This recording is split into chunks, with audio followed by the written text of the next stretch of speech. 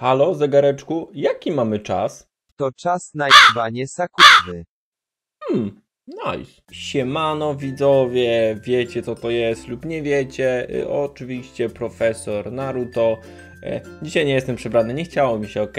E, lecimy. Uwaga, mamy dość świeży artykuł, który podesłał mi e, jeden z widzów, bo z 19 listopada 2021, więc e, dwa miesiące temu to jest, to jest naprawdę świeże. I uwaga, będziemy dzisiaj patrzeć na 10 surowych realiów bycią, bycia Sakurą Haruno. I Sakura Haruno jest częścią zespołu Naruto, ale to nie znaczy, że ma łatwo. Właściwie czeka ją ciężki okres. Smutne. Historia Naruto jest pełna kolorowych i ekscytujących postaci, poczynając od samego bohatera shounen Naruto Uzumakiego. Na początku historii Naruto ukończył Akademię Ninja i został przydzielony do nowo utworzonej drużyny siódmej wraz z utalentowanym Sasuke Uchihą i energiczną Sakurą Haruno. Nie jest łatwo być w tym zespole. Nie jest. Szybko stało się jasne, że wszyscy trzej genini z drużyny siódmej musieli stawić czoła własnym wyzwaniom i trudnej rzeczywistości, a Sakura miała wiele własnych problemów, z którymi musiała sobie poradzić. Tak, w dzieciństwie w pierwszym ważnym wątku fabularnym, a także w Naruto Shippuden, Sakura Haruno musiała zmagać się z więcej niż kilkoma trudnymi rzeczywistościami, które towarzyszą jej karierze i życiu. To teraz poznamy te 10 fantastycznych powodów, jakie miała trudne życie. Uwaga! Sakura nie pochodzi ze znanego klanu ninja. Ojej, nie ma przewagi już na starcie. Na pewno można zrobić to tylko w złą stronę, prawda? Sakura ma szczęście mieć dwoje kochających i wspierających rodziców w domu, w przeciwieństwie do sieroty Naruto, Uzumakiego lub Sasuke, którzy stracili swoich rodziców w szale Itachiego. Z drugiej strony nie ma nic specjalnego do powiedzenia o rodzinie Haruno jako klanie ninja. No to nie jest klan. Hinata Hyuga ma tą zaletę, że pochodzi z potężnego klanu Hyuga, a klany o umiarkowanym sukcesie, takie jak klany Aburame, Inuzuka, Akimichi Yamanaka, również są szanowanymi nazwami. Jednak Sakura urodziła się w najlepszym razie w zapomnianej rodzinie i to może być dla niej trochę rozczarowujące. Wow, wiecie co? Jakby nie mówimy tutaj o wzbogacaniu się, nie musisz mieć świetnej rodziny. I na przykład geny w, tej, w, tej, w tym anime oczywiście coś dają, nie? Ale jakby macie ten, ten rok starszą od Sakury, która bije ją na łeb od razu, nie? Hinata, pomimo tego, że pochodziła z klanu, to była gównem na początku. E, nie wiem, weźmy Temari. Okej, stoi koło takiego kozaka jak Gary, nawet się do niego nie umywa oczywiście, ale jest super silna. O, oczywiście to jest jakaś tam wada, ale czy to jest jaki, jakikolwiek powód do tego, żeby narzekać, że ma się gorzej? Nie, moim zdaniem nie. Okej, wiecie, w tym anime ludzie mają predyspozycje różne, najróżniejsze z ra- z racji tego, że mają oczywiście geny, Y, ale na przykład Naruto w pewnym stopniu sam się wyszkolił. Rock Lee nie jest z żadnego klanu w ogóle jakiegokolwiek, znaczy Lee to jest klan, ale y, nie jest ze znanego klanu, nie jest szanowanego klanu, nie potrafi nic innego niż taijutsu i jest po prostu kozakiem już w pierwszej serii, w pierwszym momencie jak się pokazał. No, to jest przykład po prostu ciężkiej pracy, y, trenowania, a nie "Eee, nie jestem ze znanego klanu. Smutne.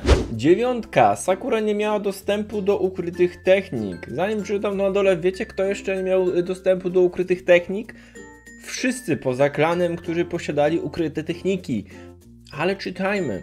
Technika ukryta, hidden, to taka, której z reguły uczą się tylko członkowie określonego klanu ninja. Dzięki, że potwierdziliście moje słowa. Teoretycznie każdy ninja może nauczyć się i używać ukrytego jutsu, ale niektóre klany ninja dbają o to, aby tajemnice ich ukrytego jutsu były w tajemnicy. W zasadzie chyba wszystkie. Rodzina Sakury jest nie tylko nijaka, ale nie ma też żadnych technik ukrytych, co oznacza, że Sakura nie miała przewagi, kiedy rozpoczynała karierę ninja w wieku 12 lat. Nie miała własnej wersji cienia, na przykład jutsu posiadania lub jutsu częściowej ekspansji. Tu chodzi o Ino Shika- Shikacho, który są prawie że jedynymi członkami takimi, wiecie, przebijającymi się w Naruto, którzy mają techniki hidden, czyli klan Nara, y, Inuzuka, fu, Inuzuka, klan Yamanaka, y, y, Nara i, i Akimichi. To są trzy klany, które głównie się przebijają z technikami hidden.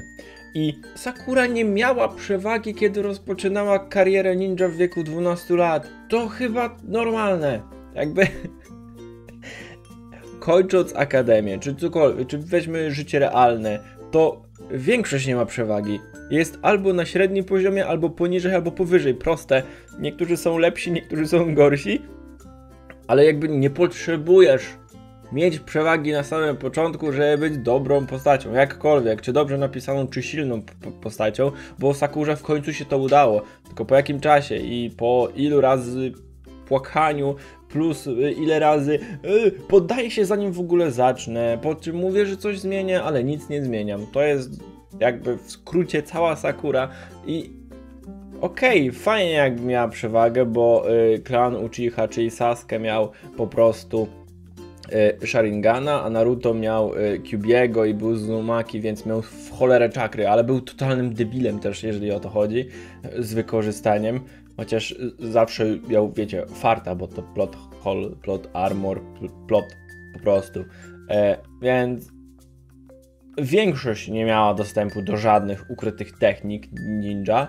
E, jakby Sasuke chyba najbardziej wygrywa w tym zestawieniu, bo Naruto też jakby on musiał samego, sam się nauczyć. Okej, miał jakby więcej czakry i tak dalej, i tak dalej, ale musiał się tego sam nauczyć, więc głupi argument po prostu. A na miejscu ósmym czytamy, że Sakura nie ma Kekkei Genkai, czyli w zasadzie to samo co w siódemce, ale musiała być pełna, ładna liczba, dziesiątki lepiej się klikają niż dziewiątki, siódemki i tak dalej, i tak dalej, nie wiem czy wiecie. Ukryte techniki są z założenia ekskluzywne dla klanu, podczas gdy Kekkei Genkai jest wyłącznie dla klanu poprzez genetykę. Ninja dziedziczą po rodzicach coś więcej niż tylko kolor oczu czy włosów, mogą również odziedziczyć unikalne jutsu, czyli Kekkei Genkai, co może dać im poważną przewagę. Na przykład kościane jutsu Kimimaro to Kekkei Genkai. Dzięki. Tylko niewielka część jutsu to Kekkei Genkai, a wielu ninja z wioski liścia nie ma własnych Kekkei Genkai. To nie jest powód do wstydu, ale z drugiej strony Sakura przegrała tą genetyczną loterię, a to w połączeniu z jej brakiem technik ukrytych oznacza, że nie ma żadnego specjalnego jutsu. I znowu, e, hej, jakby to nie jest wina genetyki, to jest wina ewidentnie Kishimoto, hej, to jest raz. Dwa, no znowu mam przytaczać tutaj ten, ten, która śmiejecie się, że ten, ten olewana i tak dalej, ale ona w pierwszej wersji, y, czy w pierwszej serii, no była naprawdę spoko postacią, jeżeli chodzi o siłę, nie? W sensie narzędzia ninja coś robiły, w sensie nie narzędzia ninja, tylko te shurikeny, kunaje i tak dalej. I miała po prostu bardzo silnego przeciwnika w postaci Temari i nie miała z nią jak wygrać. No ale macie Rokali, no wygrał po prostu treningiem, w sensie wygrał, zbudował na tym całą swoją karierę, tak? Że ćwiczył, po prostu, a nie ciągle ryczał. I nie wiem, czy mam coś więcej dodawać, bo to jest dosłownie to samo, co w punkcie siódmym. Jeszcze sami sobie w sumie przeczą, bo jakby mogło być inaczej na, na tym y, CBR-ze, że no większość ludzi nie ma Kekkei Genkai, większość ludzi nie ma technik Hidden, ale Sakura jest z tego powodu pokrzywdzona, bo ona też nie ma. Okej, fajny argument. Uwaga, siódemka, czyli Sakura ma problemy z wizerunkiem ciała. Ninja powinni bardziej dbać o swoje techniki i sprzęt niż o wygląd fizyczny. Nikt nie musi być przystojny ani piękny, żeby być ninja, ale mimo wszystko młoda Sakura Haruno zmagała się z problemami z wizerunkiem ciała, co sprawiło, że była nieszczęśliwa. Ojej, Sakura porównywała się nieprzychylnie do innych dziewcząt z jej klasy Kunoichi, w szczególności rozpaczając nad swoim dużym czołem. Młoda i niepewna siebie Sakura cierpiała w ten sposób na niską samoocenę, a nawet w drużynie siódmej Sakura wciąż martwiła się, że nie jest wystarczająco atrakcyjna jak na gust Sasuke. O nie, biedna Sakura. Wiecie tam, że brat wybił e, Saskę, tam cały klan, zabił rodziców, własny brat, albo Naruto nigdy nie poznał rodziców, tam, no, no trudno, nie? Ale ona ma duże czoło. Tylko dla mnie brzmi to absurdalnie. Może ja się nie znam, może patrzę na to zbyt prosto. To były chyba dwa najgorsze odcinki, póki co jak rewatchujemy Naruto. E, Gdzie była walka Ino i e, Sakury, to były dwa najgorsze odcinki, nie licząc fillera, y, które były totalnie nieciekawe i jej wielkie czoło. Okej, może w świecie Naruto, czy, czy żeby pokazać jaki ból miała z tego, ma to jakikolwiek sens. Nie wiem, z widzów chyba nikt nigdy nie zwrócił na to uwagi i jakby nie było tego momentu, to nikt by nigdy o tym nie powiedział, ale okej, każ każdy może mieć jakiś kompleks, nieważne czy jesteś postacią z anime, czy w, w życiu realnym, ale to jest, to jest coś, co ci od razu skreśla, tak? Bo masz duże czoło, które możesz zakryć na przykład. Uwaga, po szóste, Naruto nieznośnie denerwuje Sakurę. Tato ma ciężko w życiu. Z biegiem czasu stało się to mniejszym problemem, ale na początku jednym z największych problemów Sakury nie był brak Kekkei Genkai ani dużego czoła. Znaczy, ona nie miała braku dużego czoła, ale wiecie, to przetłumaczone. Ale sam Naruto Uzumaki. Genii z drużyny siódmej na początku nie dogadywał się dobrze, okej? A ten problem nękał Sakurę tak samo jak Naruto i Sasuke. Sakura widziała Naruto Uzumakiego jako pozera i nieznośnego wichrzyciela i często była sfrustrowana i zła na próżne przechwałki i wybryki Naruto. Okej. Kiedyś okrutnie zauważyła Sasuke, że Naruto zachowuje się w ten sposób, ponieważ nie ma w pobliżu rodziców, którzy mogliby go zdyscyplinować, a Sasuke bardzo źle przyjął ten komentarz. Ciekawe dlaczego. To był chyba trzeci odcinek, gdzie Sakurę zaczyna się nienawidzić, bo jest po prostu tępą dzidą. Po prostu. Nie dlatego, że meme, tylko przychwa- przechwałki i wybryki Naruto. I, I wiele razy pada, jak będziecie oglądać mm, lub nie, ocenianie arków 2 z egzaminu na Chunina. Jest tam taki tekst, pamiętam go, bo dosłownie przedwczoraj oglądaliśmy te odcinki, gdzie Kakashi stwierdza, że Sakura jest opanowaną dziewczyną i ona raczej nikogo nie rani, slash nie przechwala się. Tymczasem wszystkie odcinki przed och, jaka jestem e, świetna, ten Naruto to leszcz, y, jest niezdyscyplinowany, bo nie ma rodziców. Fajnie, że na przykład wiesz, że Naruto nie ma rodziców, nie lubisz go, bijesz go, gadasz takie rzeczy, tymczasem nie wiesz, że twój ukochany też nie ma rodziców. Fajnie, naprawdę. I to jest kolejny powód, dlaczego warto skrócić Sakurę, prawda? Bo miała wkurzającego kolegę w drużynie.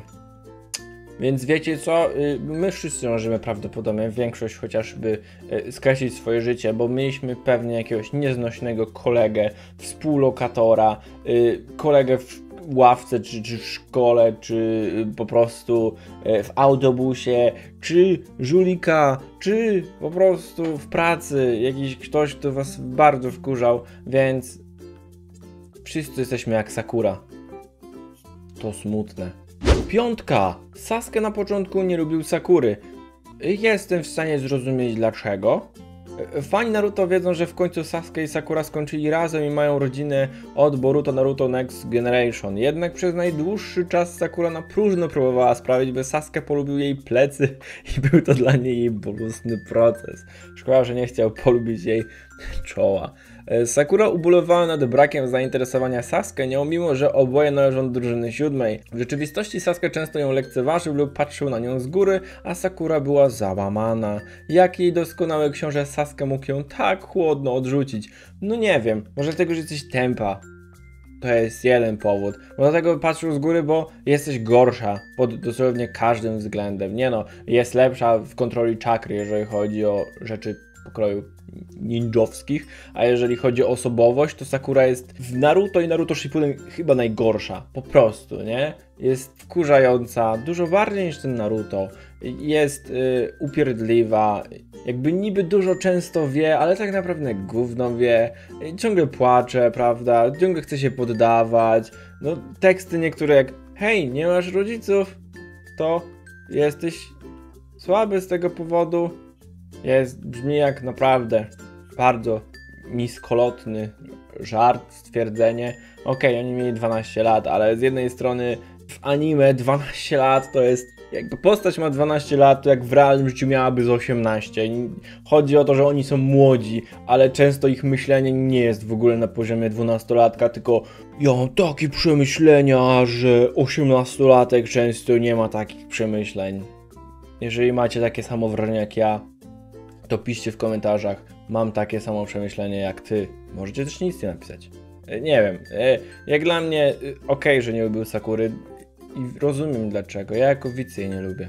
Uwaga, miejsce czwarte to Ino zawsze wydaje się być lepsza. Sakura ma przyjaciółkę z dzieciństwa, miotującą genjutsu Ino Yamanake, która ma własne ukryte jutsu, technikę transferu umysłu. Sakura i Ino należały do tej samej klasy Kunoichi, a Sakura zazdrościła Ino popularności i talentu. Sakura czuła się od niej zupełnie gorsza, bo była. Sakura nawet przyznała się do tego Ino w pewnym momencie, także zazdrościła jej wiedzy o kwiatach, nie wspominając o wyglądzie Ino i ukryciu. Na szczęście Ino była bardziej współczująca niż arogancka w tym wszystkim i pomogła wesprzeć Sakurę jak tylko mogła. Jak ujęła to Ino, Sakura była pączkiem kwiatowym czekającym na rozkwitnięcie pewnego dnia, brzydkim kaczątkiem, na który czekała dobra przyszłość. I zobaczcie, możemy mieć babkę, która jest tak samo jakby słaba, czym jest znajomość o kwiatach w kwestii bycia ninja na przykład, ale co jest znowu, o nie, ty jesteś lepsza pod tym względem, to teraz nic nie zrobię,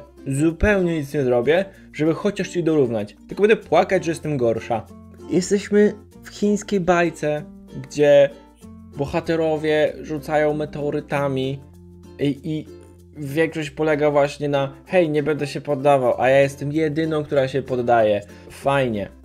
I wiele można przypisać Ino od tego samego co Sakura, ale chociażby Ino jest bardziej współczująca niż arogancka w tym wszystkim.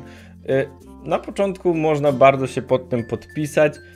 Ino jest dla mnie pod względem bycia postacią dużo lepsza niż Sakura. Pomimo tego, że dużo rzeczy z jej osobowości można przypisać na drugą i wyjdzie prawie to samo, tak? Ale to po prostu Ino jest jakoś tam zdeterminowana, i w ogóle, a, a Sakura nic nie potrafię, to nic z tym nie zrobię i to jest, to jest ten minus, że po prostu nic mnie nie interesowało i teraz mam przekichane. Nie wiem, takim moim przemyśleniem jest to, że nie wiem, jak czegoś nie potrafisz, to może spróbuj cokolwiek zrobić, tak? Nie wiem, nie umiesz grać w piłkę, kopnij chociaż, a nie o nie, nie umiem grać w piłkę, to będę płakać. Okej, okay, fajnie. Miejsce trzecie Tsunade jest bezlitosną mentorką. Lady Tsunade Sani została piątym Hokage, a potem wzięła na siebie szkolić Sakurę Haruno, podczas gdy Ropucha mędrze Jiraiya wyszkolił Naruto gdzie indziej. Tsunade dużo nauczyła Sakurę, ale to był trudny czas dla Sakury, która nie była przygotowana do treningu tego kalibru. Nie widziano zbyt wiele z jej treningu, ale łatwo wywnioskować, że ciało, czakra i umysł Sakury były obciążone i napięte do granic możliwości, aby mogła zrealizować swój potencjał. Bez wątpienia Sakura tęskniła za łatwiejszymi dniami swojej kariery w tym czasie. Oczywiście musimy sobie dopisać troszeczkę, bo nie było widać, prawda, wie, wiele z jej treningu, ale zakładamy, że było bardzo ciężko, bo to wiecie, Sakura, biedna dziewczynka. Yy, I bez wątpienia Sakura tęskniła za łatwiejszymi dniami swojej kariery w tym czasie. No mam nadzieję, że nie, że już w tamtym momencie było to za nią, bo Shippudenie jest no, na pewno znacznie lepsza niż była w pierwszej serii. Jednym z największych mankamentów było to, że te łatwiejsze dni polegały na dosłownie nic nie robieniu. Ja się śmiałem jak robiłem e, na Animedie ocenianie openingów z Naruto i w pierwszym openingu Naruto Kakashi ratuje Sakurę przed chyba lecącym drzewem, tymczasem Sasuke i Naruto uciekają. I się śmiałem, że po prostu to jest cały zwiastun Sakury pierwszej serii, która musi liczyć na kogoś za każdym razem. E, I to, że była bezlitosną mentorką, dobrze. Naprawdę dobrze. W końcu coś się zmieniło w jej postępowaniu, nie wiem, umyśle, umiejętnościach, cokolwiek.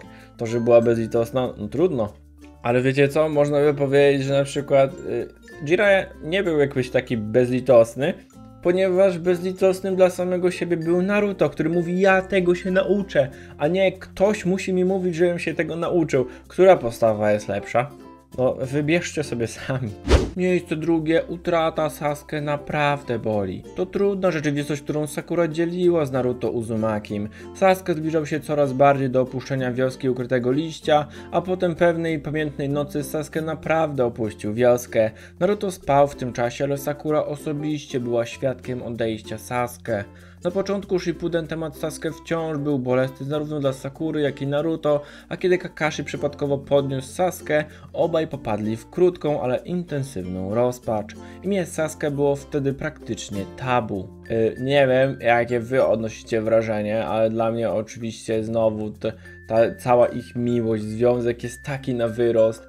Ja robiłem jakiś tam odcinek o tym, że ta para dziw, dziwna jest po prostu i tam ludzie wypisują, że o, bo to jest uzasadnione i tak dalej. Być może, jak się zagłębicie albo będziecie szukać na wyrost różnych rzeczy, to na pewno znajdziecie jakieś powiązania, bo on z nią gadał, bo on jej pierwszy powiedział o czymś tam i, i tak dalej, ale zanim to się działo, to wyglądali, wyglądało tak, jak oni w ogóle by nie mieli kontaktu przed tym, nie? W sensie, jak Sakura dołączyła do drużyny siódmej i okazało się, że jest Sasuke, to, to, to dopiero zaczęło być jakby jakakolwiek reakcja istnieć, a przedtem było coś na zasadzie Sasuke kun, wszyscy cię kochają, to ja też cię kocham.